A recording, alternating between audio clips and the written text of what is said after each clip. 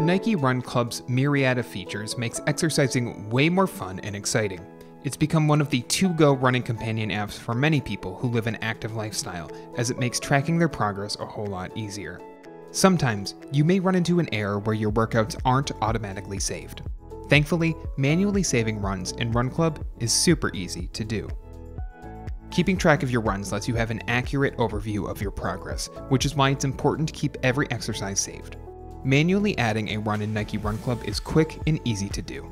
First, launch the app and tap on the triple lined menu icon in the upper left corner of your screen. Select Activity, tap on the plus icon in the upper right corner of your screen, then enter your run's details and press Save. Your run will appear in your running history. If the app doesn't record your runs automatically, even while connected to a network, the issue is most likely related to your device's GPS signal. To make sure that all your activity is accurately tracked, check if your location services are turned on before an outdoor session starts, and ensure that you've permitted Nike Run Club to access those permissions. We also suggest avoiding setting your device into battery saver mode while running, as this can prevent your GPS from tracking your run accurately.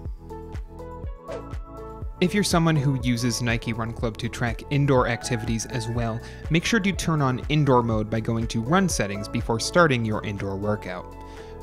Waiting for about 10 to 15 seconds before starting your session is also a good idea to ensure that the app is ready. It's worth noting that indoor run mode is also great if you're running with a device set in airplane mode. Before returning to an outdoor run, remember to turn outdoor mode back on. If you're having trouble finding the motivation to follow through with your runs, Nike Run Club has a great addition to give you in run cheers from friends and encouragement from elite athletes. To turn cheers on, go to the Quick Start page and tap on the Settings icon to the left of the Start button. Under Display and Audio, select Audio Feedback and toggle it on.